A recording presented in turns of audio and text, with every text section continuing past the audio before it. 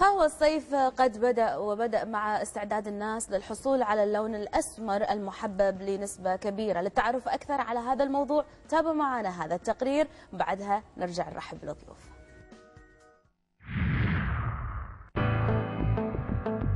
في الصيف يكثر التعرض لأشعة الشمس مما يعرض الجلد لحروق الشمس كما أن التعرض لها يعجل في ظهور التجاعيد والتصبغات الجلدية وتتغير طبيعة البشرة وتظهر بعض الأوعية الدموية السطحية وقد تؤدي هذه الأشعة لظهور بعض الأورام الجلدية. فما مدى تلك الأضرار التي تتركها الشمس على الجلد؟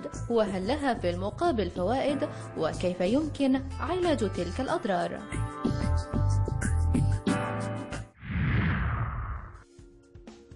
نرحب هني معنا داخل الاستديو بخبيرة التجميل والكاتبة الصحفية زيبة رفيق وأيضا بالدكتورة ماجدة أحمد استشارة أو استشارية الأمراض الجلدية. حياكم الله معنا.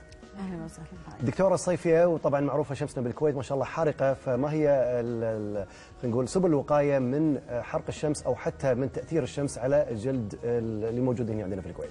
أول حاجة حضرتك المفروض الواحد يتعرض للشمس في وقت معين ما ي- يبقى بيبقى بالتدريج. شنو هو؟ هذا الوقت؟ آه الأحسن طبعا ما يبقاش في الذروة. يعني الذروة من الساعة 10 للساعة 4 بيبقى آه، حرارة الشمس قوية جدا. هذا حتى مو اللي رايحين البحر يعني حتى اللي برا مثلا. المفروض إنه. يتجنب شوي. لازم يتجنب. لازم طبعا يحط الواقي من الشمس. لازم النضارة مهمة جدا. آه، الهدوم لازم تبقى قطن وفواتح؟ وفواتح عشان ما ما تكتسبش حرارة الشمس. الحرارة. طيب لو لو ندخل في يمكن إحنا النساء الأكثر آه، بحثا عن الأشياء التي تقي ولكن بطريقة منزلية أكثر. خلينا نقول إذا أحد الله لا يقول صار في حروق آه، الشمس خليني أعطيكم شوية وصفات منزلية. أول شيء إذا عندنا نبتة الصبار ألويرا ناخذ منها فرع إذا نقصها يطلع منها شيء مثل جل. حلو. نحطه على الحرق على طول نحس بالراحة ويروح الأثر. إذا صار في أثر ممكن ناخذ آه، روب نحط فيه كركم وقفشة عسل ونخلطها ونحطها على الحروق. أساس ما تترك أثر. في الوي في الجسم في أي الوي في مكان. الجسم في أي مكان. الدكتورة يمكن أيضا يعني واحد من أهم الأشياء اللي يسوونها الناس في الصيف آه، ذهابهم إلى البحر والحمام الشمسي مثلا هذا.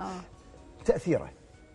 ما هي ممكن حاجة ممكن يعني الواحد يقعد في الشمس ولو حاجة وقت بسيط جدا ده ممكن تعمل حروق على حسب نوعية الجلد. عشان ياخذ استمرار بشكل سيف يعني بشكل آمن. ما هو حاجة دلوقتي الموضة في ناس عايزة تاخد اللون البرونز إن هي دي بتبقى نوع من يعني التغيير جمالي بس مظهر آه جمالي. نوع جمالي. بس هو المفروض طبعا دي إن إحنا ربنا خلق لنا الميلانين هو اللي بيحمينا. فحضرتك لما بنقف نتعرض للشمس فبنكتسب لون جامد جدا.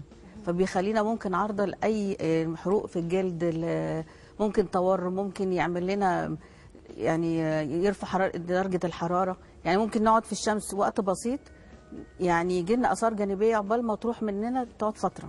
فعشان كده اللي يتعرض للشمس لازم يكون بالتدريج وفي فتره معينة. طيب دكتورة يعني إحنا اللي نعرفه ال- ال- البشرة الأوتوديرم والإندوديرم يعني طبقات. ما هي الطبقة التي تتأثر؟ لنعرف وقتها أننا بمرحلة حروق. ده حضرتك لو دخلت عميق طبعا هتبص تلاقي حروقه في من الدرجة الثالثة. آه طبعا.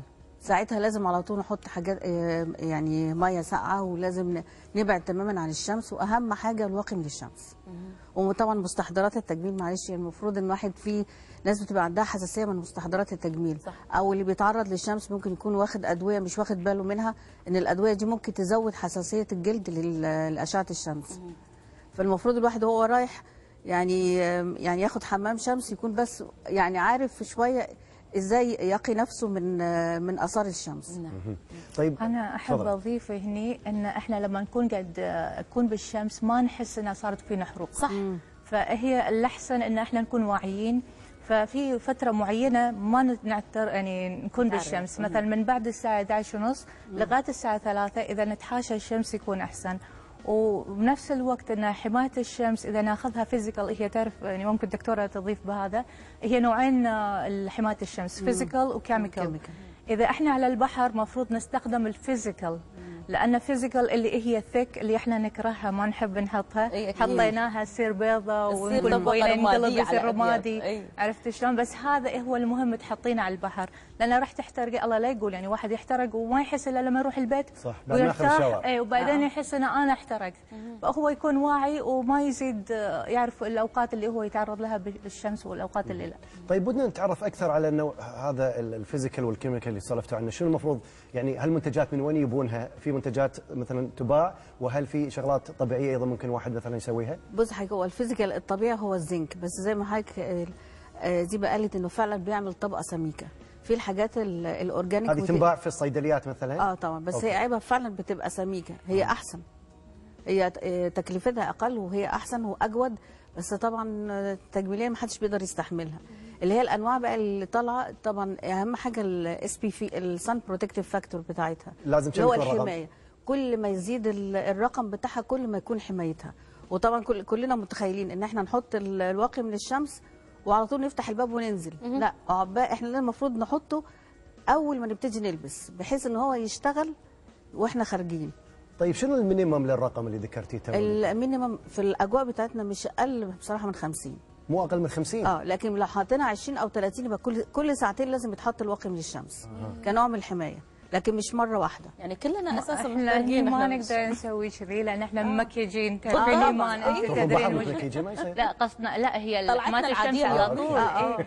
فهي في في نوع من spray ال mist آه. يكون في SPF factor فإذا وحدة تخليه بالجنطة يعني أنا كخبيره تجميل هذه آه،. فكرتي يعني كل شوية كذي بعد ساعتين ترش على وجهها شوية فينشف وما يخرب المكياج طيب. لأنه مستحيل إن نروح كل ساعتين نمسح المكياج أيوة. ونحط ونحط أكيد. المكياج صح. ومكياج ما ليش غنى عنه طيب في في بعض الناس يعني ما قاعد ياخذ تان من الشمس قاعد ياخذ التان اللي الحين هابين فيه اخر السرعات اللي هي.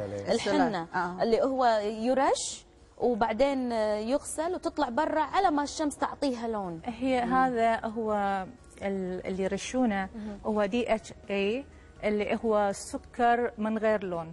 هذا يتفاعل مع ال- خلايا الميتة فياخذ لون. فهو مو وايد صحي يعني أنت تبين تفتكين من الخلايا الميتة ما تبينها تتلزق يعني. فيك. فأنت أسبوع. كامل راح تقعدين وخلايا الميتة موجودة عليك. يعني هذا مو صحي كلش. ما هو حنا. طيب الشمس طبعا. لها فوائد كثيرة وأكيد لها مضار. خلينا نشوف هذا التقرير اللي عرفنا زيادة على فوائد الشمس ونرجع نكمل دردشتنا مع ضيوف.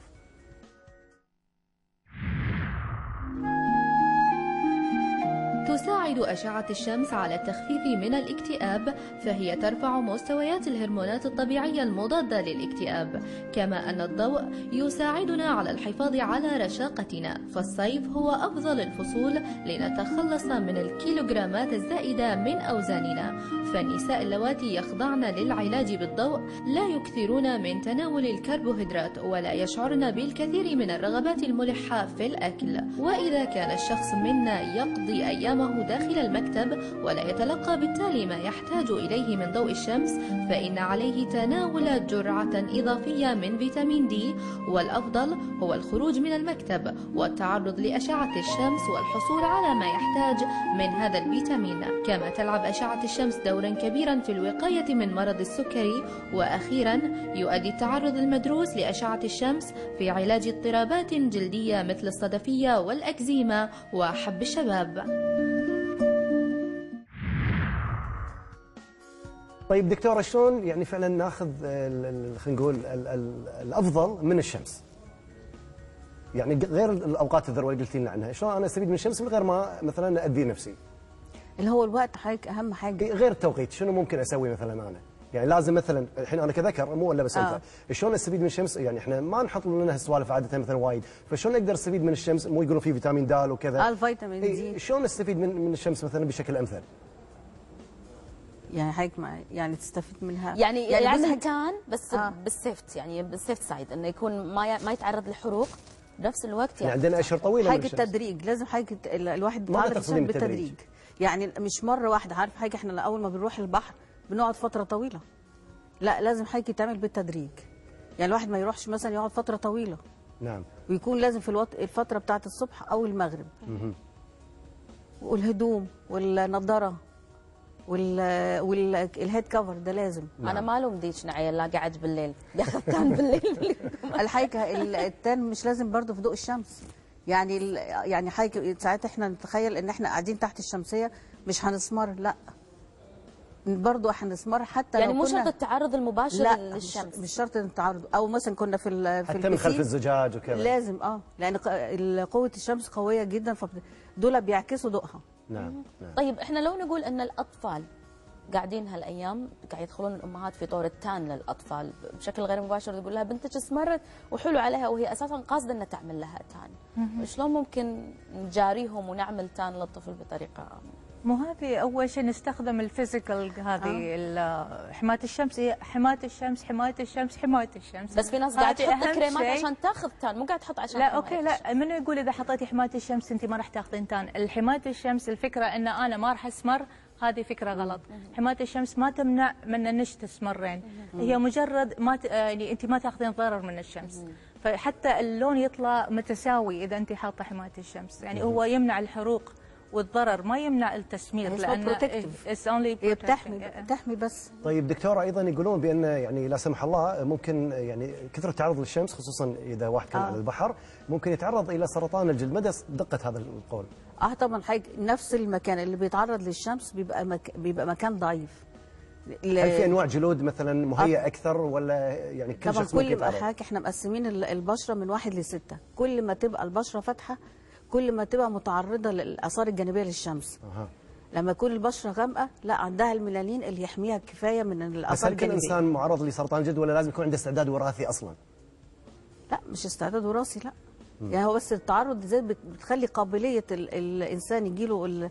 أي أورام في الجلد أكتر مهم. يعني آه، أنا أعتقد إن البشرة الفاتحة معرضة للنمش والكلف أكثر أكتر آه، طيب إحنا قاعدين نقول الحين إن آه، إحنا دخل الصيف وفي ناس والله حتى ما تبي تاخذ تان لكن مفروض عليها بأنها تكون تحت أشعة الشمس تعمل لفترات طويلة آه قد. تصاب بسرطانات الجلد قد تصاب بضربه الشمس قد تصاب بغيرها نقول الطريقة المنزلية للعناية والوقاية من آه، سرطانات الشمس سرطانات الجلد عفوا و- هو بالصيف أحسن شيء نستخدم ماسكات الصيفية. لما نقول ماسكات الصيفية هي الطبيعة هي اللي تعلمنا. مثلا شنو هي فاكهة اللي هي بالصيف ناكلها؟ الشمام المانجا اللي فيها سوائل كثيرة. اللي فيها سوائل كثيرة. هي نفسها إحنا نحط على البشرة. وبالنسبة إذا صار في كلف ما اخلطها مع شيء ثاني؟ ممكن تأخذينها كذي تسويني تحرصينها وتستخدمينها أو تزيدين لها عسل. أحيانا ممكن تزيدين لها مسحوق اللوز. بس نبتعد عن الأشياء اللي فيها حوامض لأنها تسوي تقشير مثلا الفراولة. هي هي ترى ما. إذا هي كانت فاكهة أحماض الفاكهة اللي طبيعية ما تقشر وايد فهي ممكن توحد اللون. بس شنو ما استخدمنا إذا. استخدمنا حماية الشمس صح ما لها ضرر. يعني حتى كريمات التبييض اللي هي كريمات التجارية إذا استخدمناها إحنا بالصيف وقاعد نستخدم حماية الشمس فما لها ضرر. بالنسبة إذا طلع صار في كلف ونمش آه، أنا دائما كل مقالاتي وكل كلامي يكون ليمون و vinegar وتفاح وكذي اليوم قلت أنا بجيب بقول شيء جديد. فالجديد أن تاخذين حليب ال coconut وتحطين فيه مسحوق اللوز وقفشة جوز الهند ومسحوق اللوز. إي، مسحوق ولا عسل. زيت؟ لا اللوز. مسحوق اللوز. مسحوق اللوز. وقفشة عسل تخلطينها وتحطينها على على البقعة. فمع الوقت يعني استخدامها قولي على. ثلاث أربعة أشهر تخف يعني البقعة والنمش يخف حيل. والثانية تحطين الحنة مع حليب الجوز الهند وتخلطينها هم تحطينها على البقعة فتشيل فهذه ماسك جديد لكم. أنا أنا من كلها زمان. ليمون ويكلي يعني كل أسبوع أستعمل هذه الحنة فما الاحظ إنها مضرة يعني. لا ما تضر. لا. طب ما. الجديد ما الجديد طبيا يعني في في هذا المجال؟ أنا آه، في آه، تقنية أمريكية جهاز جديد آه، راح يكون موجود قريب بالكويت وأول مرة يعني بالخليج بالكويت. إذا الدكتورة تعرف يمكن عنا أن في شيء تقنية اس- اللي kidney dialysis اللي غسيل الكلى. في على نفس الفكرة سووا بأمريكا ال skin dialysis غسيل الخلية. ف- الجلد؟ الخلي الخلايا. نعم، هو الخلية، شنو؟ نعم. في خلايا مع تقدم العمر أو من كثر سموم الشمس. ما تقوم آه، تطلع سمومها بنفسها ما تقدر تجدد روحها بنفسها. فالجهاز هذا يزيل السموم من الخلية. ويضخ فيها مضادة هذه الأكسدة الخلايا ال- الخلية اللي تكون على السطح ال- اللي هي في طيب. الخلايا آه، صغيرة كل ب- بيزيل منها السموم؟ أي ب- بمجموعه خلايا نزيل منها السموم ويضخ فيها مضادات الأكسدة و hyaluronic acid. فت- فهذه هي آخر آخر تقنية لرونق وصفاء البشرة. نعم نعم. حتى وصلت هذه already إن شاء الله خلال الأسابيع تكون يلا. موجودة. حتى للطبقة الس- ال- العميقة؟ لا هي. لل dermis وال epidermis آه. ال endoderm لا، الحاجات ال hyper. اللي هو ال- العميق ده اللي هو لسه حتى الآن يعني حتى even في الليزر أو التقشير آه، النتائج ما تبقاش زي ما الواحد يعني يتمنى نعم لأنها بتبقى عميقة دكتورة إحنا الحريم يهمنا الطبقة اللي فوق وبس شكرا دكتورة على وجودك معنا. شكرا استاذتي على وجودك معنا اليوم. استمتعنا جدا ولكن النصائح يبي لها تطبيق فعلي واستمرارية بتطبيق هذه الحماية على أنفسنا سواء مو فقط في الصيف أيضا الشتاء. فلا تغفلوا عن شمس الشتاء فهي أيضا حارقة ولكن من بعيد.